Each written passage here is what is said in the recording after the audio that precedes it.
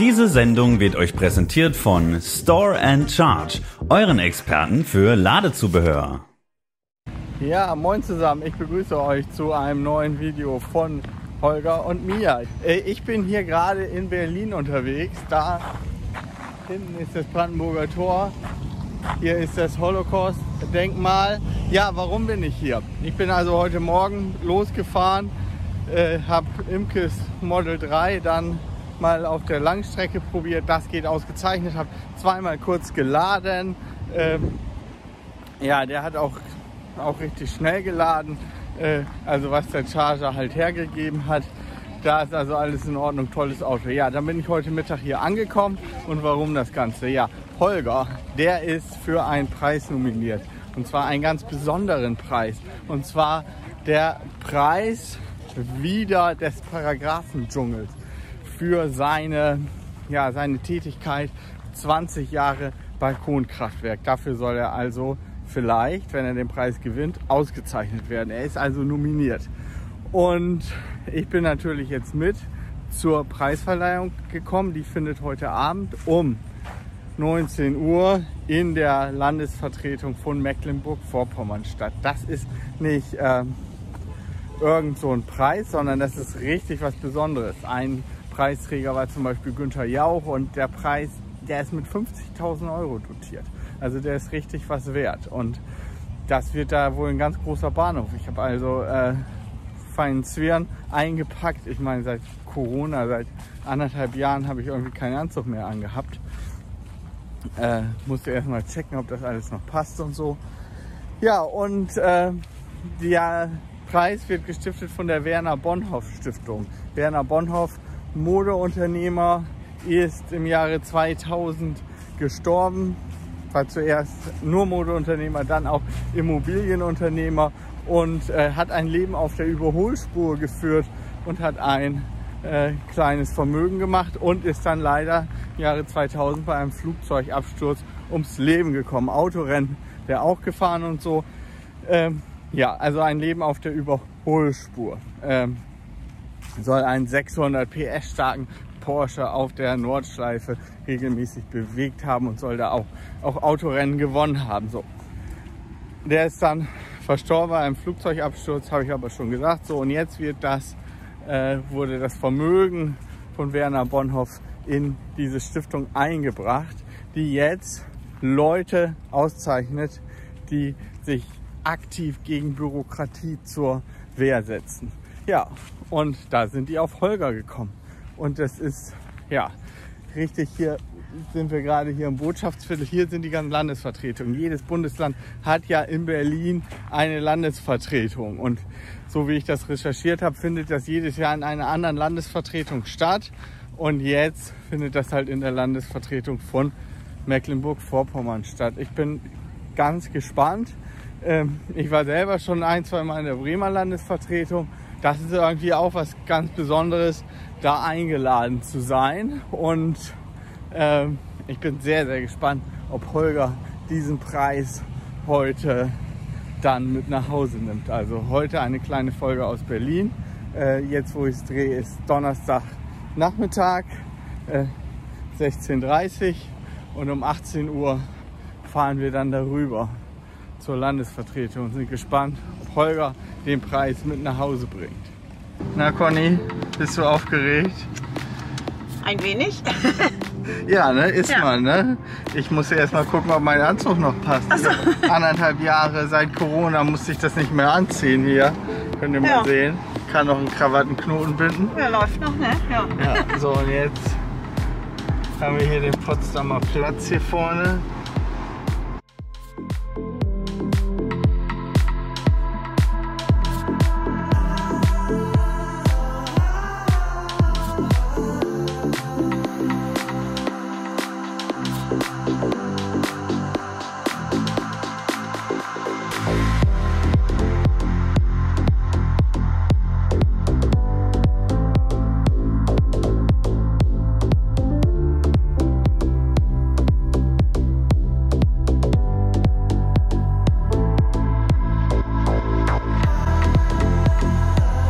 So, hier sind die Preisträger seit 2006. 2008 Günther Jau. So, und hier geht's weiter. Und das heute ist eine Doppelpreisverleihung. Das heißt 2020 und 2021 wird geehrt, weil letztes Jahr hat es dann irgendwie wohl nicht stattgefunden. So, guck mal, wer da ist, Holger. Komm, wir gehen mal raus und quatschen mal. Ja, damit wir die Massen loswerden. ja, ne? ja, genau. Holger, Moin zusammen. Holger, bist du ein bisschen nervös? Du hast dich ja richtig in Schale hier Hab geworfen. meine Frau gemacht, ja, was soll ich sonst machen? darf ich dich mal filmen? So? Mach, mach keinen Ärger, sonst muss ich immer so rumlaufen. Ja, sieht gar nicht schlecht aus hier. Und das ist ja alles so feierlich hergerichtet. Da hinten gibt es Blumen und äh, ist dir das bewusst? Das könnte für dich sein. Äh, weiß ich nicht, wir werden sehen. Was ist das für ein Gefühl? Ja, hört sich gut an, ne? Äh, ich denke mal, mal gucken, was Und passiert. hier sind alles so, so feine Herrschaften in Schlips und Hast du Kragen. gar nicht mit gerechnet, Kannst ne? du dich denn heute benehmen? Ich, äh, mir wurde schon gesagt, ich muss mich in meiner Ausdrucksweise mäßigen. Ja, ja, ja. Du musst das im Prinzip so machen, wie als wenn ich das schon geschnitten hätte. Genau. Wahrscheinlich haben die deine geschnittenen Videos gesehen. Und, und haben gedacht, den können wir nehmen. Ja, wenn, wenn das einmal durch den Dennis-Filter durch ist, dann geht das. Ne? Also hier, das ist aber ist schon beeindruckend, hier Ja. diese Botschaftsgegend. Ne? Ja, Jedes Bundesland hat so eine Botschaft. Die Bremer haben auch so eine Botschaft. Und, und der pure Luxus hier. Ne? Und weißt du, was die Bremer haben? Die haben im Keller eine Kneipe und die heißt Kajüte und die ist aus Bonn hier nach Berlin hergekommen und da saß ich schon drin und habe gezecht. Du hast richtig gezecht? So, wir haben jetzt eben draußen was gegessen und zu trinken gekriegt. Das ist hier ziemlich feierlich. Ja, und jetzt begrüßt uns hier gleich die Hausherrin, die Staatssekretärin Dr. Antje Draheim. Das ist die Hausherrin hier äh, aus Mecklenburg-Vorpommern. Mecklenburg-Vorpommern heißt es so? Nee, Mecklenburg-Vorpommern. Meckpom oder Meck Mecklenburg-Vorpommern, ne? So ist es richtig. Ja, und dann wird zuerst der Preis 2020 verliehen und dann 2021. Und dann gibt es eine Laudatio. Ähm, ja, und jetzt sind wir ganz gespannt. Und Holger ist nominiert. Holger, Bitte? Was hast du? was sagt dein Spannungsbarometer? so? Ja, steigt. Also ich bin ja sonst immer nicht der aufgeregte Typ, aber jetzt muss ich ganz ehrlich sagen, jetzt wäre ich nervös. Wir freuen uns sehr, Sie hier begrüßen zu dürfen. Wir haben ja sowieso das schönste Bundesland. Ich finde, wir haben auch die schönste Botschaft, das ist ja ganz klar. Und am Ende eines schönen Sommers, der uns hoffentlich alle zu weiteren solchen Veranstaltungen führt. Da ist er, meine Damen und Herren. Jetzt mal.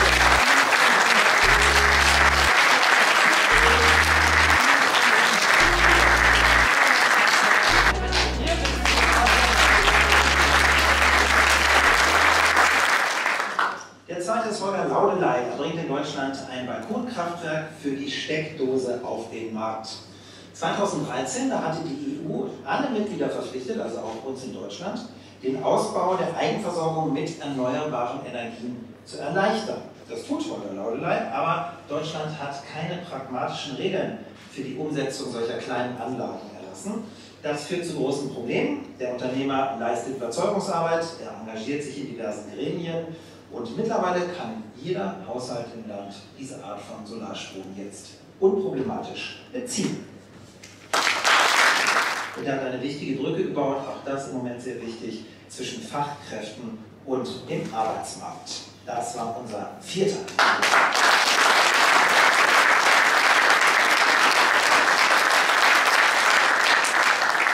Wer hat gewonnen? Wer ist Preisträger 2021? Die Auslösung diesmal in Form der Laudatio und die kommt von Kai Drame, das ist der stellvertretende Vorsitzende des Kuratoriums der Werner Bonhoff Stiftung. Bitte schön, Ihre Bitte. Nun aber zu unserem diesjährigen Preisträger. Unseren Preisträger des Jahres 2021 kannte ich zunächst nur aus unzähligen YouTube-Videos. Vor einigen Jahren interessierte ich mich mal für das Thema kleine Photovoltaikanlagen und fing an, Dr. Google zu befragen.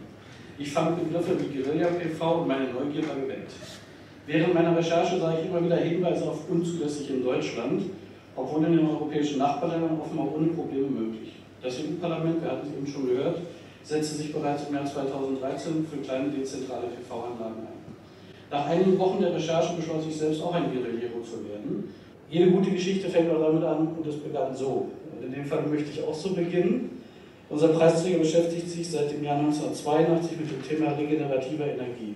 Durch seine Pionierarbeit und sein beharrliches Ringen mit der Bürokratie hat Herr Laudelei als einer der wesentlichen Akteure dabei geholfen, interessierten Bürgern ein praktisches Angebot machen zu können, durch ihr eigenes Balkonkraftwerk unkompliziert Solarenergie zu gewinnen und damit einen Teil des Strombedarfs selbst zu decken. Herzlichen Glückwunsch zum Werner Bonner Preis 2021.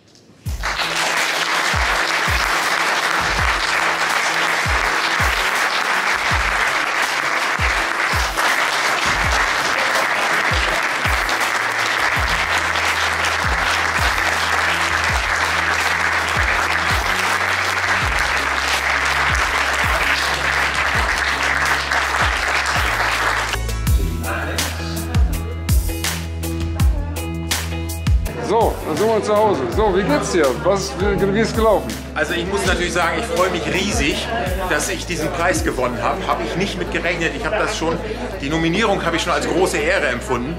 Und äh, jetzt den Preis natürlich gewonnen zu haben, ja, es ist einfach schlichtweg Hammer.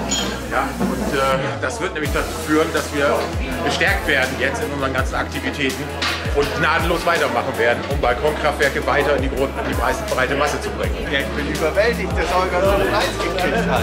Ich meine, er hat immer so viele Ideen und äh, so viele verschiedene Ideen und jetzt wird er hier dafür für sein ganzes Engagement ausgezeichnet. Ich finde das großartig. Herzlichen Glückwunsch. Ich bin happy. Dennis, es ist doch auch letztendlich dein Preis. Was hast du dafür alles tun müssen? Du musstest dich auf dem Kanal komplett dafür einsetzen, dass wir das überhaupt hingekriegt haben. Und alles ist durch deinen Schnitt durch. Dach klettern bei Ja, Ofe. genau, du musstest dafür 2,50 Meter, sogar- 50, ohne dass du Gerüst Das war saugefährlich für dich, Ja. Dennis. Saugefährlich war es. Ja, ganz schlimm, ganz Ja, schlimm. ja. Ich bin dir trotzdem dankbar. Und ich bin heute sogar nach Berlin gefahren. Was meinst du, wenn man nach Berlin reinkommt? Was denkt man dann als Autofahrer? Man denkt, warum bin ich nicht mit dem Zug gefahren? Was soll das hier? Also ich habe mich heute schon wieder richtig in Gefahr begeben. Ich weiß, ich bin immer wieder stolz auf dich, was du doch für ein ganzer Kerl bist. Komm her, wir gehen ein Trinken. Ciao.